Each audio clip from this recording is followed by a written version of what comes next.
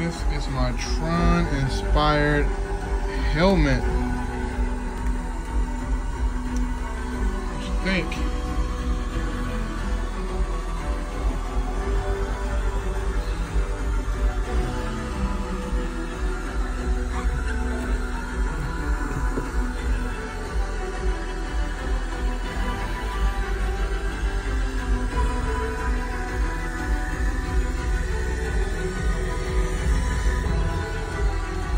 This way I will get run over at nighttime on my trike.